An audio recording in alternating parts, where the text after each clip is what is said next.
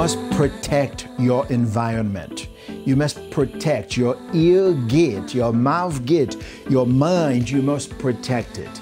And so, by that, I would like to invite you to be more proactive in your life, to learn to develop a positive attitude.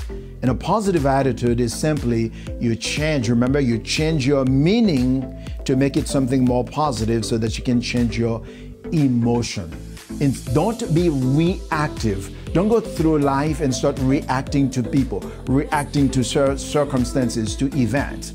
Be proactive. Prepare yourself, prepare your mind, equip yourself to deal with what is with a positive attitude. Now, protecting yourself is simply this. The defend part of it is the thing is, people will come with their insecurities, with their fears, with their sense of inadequacy, and they will come and try to dump the negative attitude and just dump that on you. They'll wake up and watch the bad news, read the newspaper. They feel a certain way because they are in a bad mood and in a bad attitude. Did you know that you do have a lot of drama queens, a lot of drama kings around you? Yeah, those people, they love to create drama. Let me share a story with you that I learned. It is about the bees and the rattlesnakes. It was basically when I was a kid in the village, and there's this older and wise man who actually opened my eyes as a kid to let me know that the bees are always out looking for something that is sweet to create honey. But on the other hand, the rattlesnakes are always out looking for something that is bitter. And they will suck the bitterness in leaves to create the poison. And then they will take the poison and go out in societies and they will strike and destroy and destroy other human beings. Well, in the case of the rattlesnakes, they do it for animals. But for us human beings, we have the rattlesnakes around us and they go and they try to destroy, to kill, and to poison. Every time you share your dream, your idea, your project with them, they inject the poison in the idea. They want to destroy it. They never lift you up. They are always putting people down. They are always discouraging people. Why? Because they are insecure because that's who they are. Not uh, essentially who they are, because inside of them, they, they are the, the warrior, the comedian, the positive person, but somehow they develop a certain attitude throughout life and environment, and they begin to see everything. They begin to see the glass always half empty instead of half full. The, the bees are the people in society who tend to pick you up, who tend to really make you feel good about yourself. They always have something positive to share. Guess what? Unfortunately, uh, or maybe fortunately, the bees are like 90% or 95% in our society.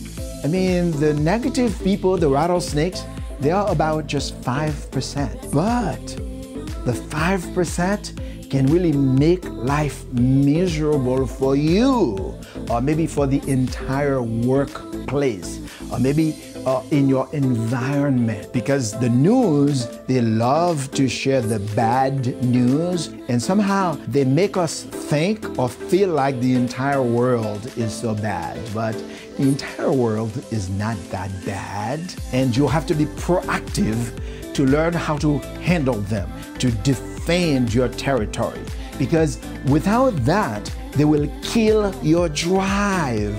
They will get you, they will cause you to be stuck in the past. They will make you feel like the world or people are so bad. In reality, for the most part, people are not bad. In fact, nobody is bad. Which brings me to this next thing. How do you actually handle the rattlesnakes. When I share this with my audience members, somebody said, cut the rattlesnake's head, which means kill it and destroy it. And, you know, that's what I used to think too. And that's what, for the most part, people think you should do to a rattlesnake.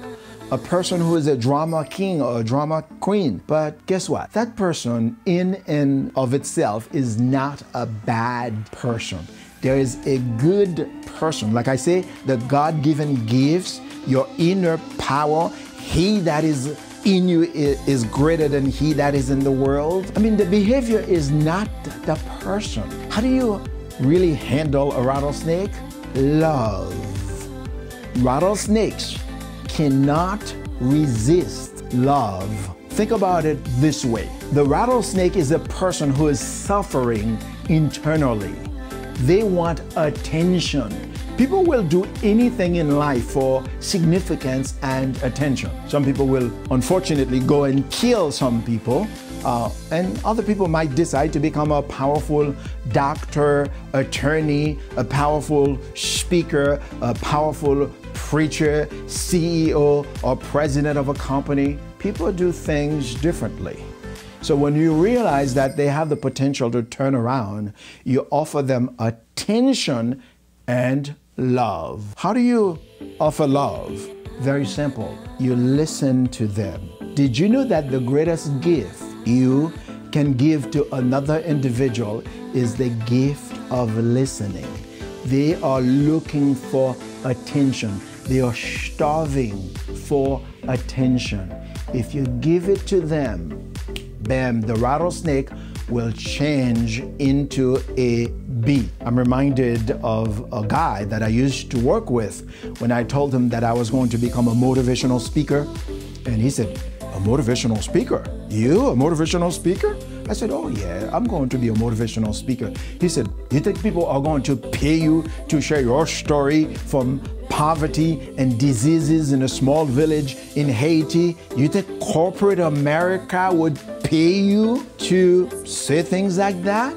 I said, Yeah, I think they would. When you share your dream and your idea with a person, or maybe with a rattlesnake, you are not looking for the approval. You are looking for a little bit of encouragement. And I told the guy, In fact, I'm going to write a book. I started working on the book. He said, A book? Do you have any credentials?